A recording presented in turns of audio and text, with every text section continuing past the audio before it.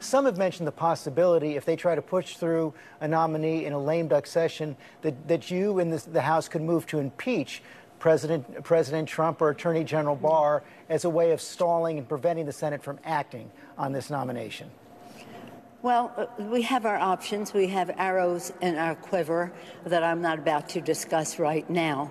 Uh, but the fact is, we have a big challenge in our country. This president has threatened to not even accept the results of the election uh, with statements that he and his henchmen have made. So, uh, right now, our, our, main goal, and I think Ruth Bader Ginsburg would want that to be, would be to protect the integrity of the election as we protect the American people from the coronavirus. And that's we. I have faith in the American people on this Sunday morning. I hope and pray we have a vaccine and that it will be soon, but it must be safe and efficacious when we do. Not one day sooner, not one day later than that. But the fact is, this administration has been a total failure in protecting the health and well being of the American people, and it has had an impact on our economy. The lives, the livelihood, and the life of our democracy are threatened by this administration. So, again, uh, when people say, What can I do? You can vote, you can get out the vote, uh, and you can do so as soon as possible. Ten states, as I said, on Friday uh, started their early voting the, the, day that we lost but, Ruth Bader Ginsburg. But to be clear, you're not taking any arrows out of your quiver, you're not ruling anything out. Good morning, Sunday morning. The uh, we have a responsibility. We take an oath to protect and defend the Constitution of the United States. We have a responsibility to meet the needs of the American people. Uh, that uh, is, uh, uh when we weigh the equities, protecting our democracy requires us to use every arrow in our quiver. That was Nancy Pelosi with George Stephanopoulos earlier today on ABC, basically saying she's not taking anything off the table with regards to blocking a Trump appointee to the Supreme Court to replace Ruth Bader Ginsburg. She uses the term she's not going to take any arrows out of the quiver. And that's good to hear, but frankly, I don't know if I trust the Democratic Party leadership to actually get into the trenches and take on Trump and McConnell and the rest of the Republicans. Look, I'm not a supporter of the Republican Party at all, at all, at all. But one thing you can say about them is they fight. They fight dirty, but they fight. They have these values that they have, which are awful values, and they will do whatever it takes, often illegally, they will do whatever it takes to win their fight. They will be hypocritical. They will lie, they will cheat, they will steal, they will do whatever. And I'm not necessarily condoning all of that, but certainly when it comes to doing everything you can within the bounds of politics to achieve your result, I think that's what your supporters want and deserve. And people like Pelosi and Schumer, for most of their career, have never been willing to put the chips down and actually go and fight for their people. So here, I don't know if I really buy her tone.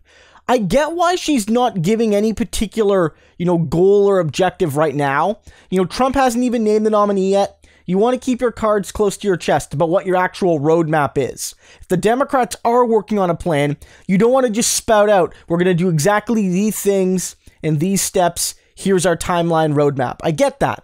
But I feel like she needs to take a stronger tone she needs to say in at least somewhat explicit terms here's what we're going to do. Not just everything's on the table, not just every arrow is in the quiver, but that these are some explicit things we want to do. Like, note explicitly impeachment. Note these things. Say that this is something we're looking at. You already have the justification to impeach at least Trump again, at least Bill Barr, and of course, Louis DeJoy, the current postmaster. Any one of those people could be impeached for what they've done just in the past couple of months. And so, from my perspective, you not only have the ability to do so, but you might even have the responsibility. And one of the arguments is, and of course, you know how this would all play out could be could be more complicated, more nuanced, is that an impeachment trial and hearing and these sorts of things takes precedent over a Supreme Court nomination. And so that if you impeach DeJoy, it'll go and fill up that slot. That will have to be dispensed before you can have the confirmation hearings and then a potential vote. And that's one of the arguments I've heard some people make. I just don't know if Pelosi's going to do it.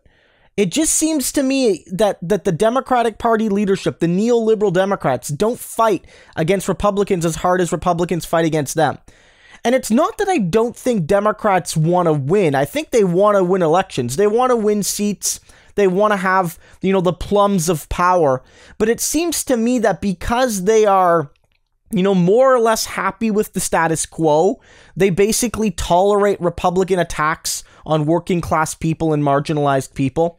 Whereas what Democratic voters need, what the people that support the Democratic Party need, are militant fighters fighting every bit as hard against the Republicans as the Republicans fight against them. And that's what I liked AOC basically coming out and saying it's time to pack the courts if they put somebody on to replace Ginsburg. Ed Markey has said the same thing. Bernie Sanders has said the same thing. These are the left wing Democrats actually talking in stark terms about what needs to be done.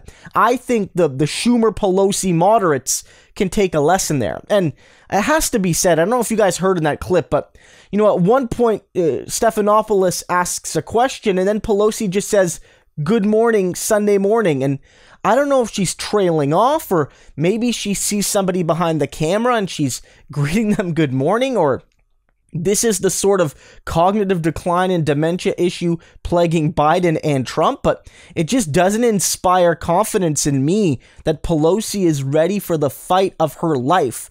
If this is the moment where you need leaders like Pelosi and Schumer to get the job done, I don't know if they have the ability or the will to do it. I'm going to, you know, not give up hope. Call your senators.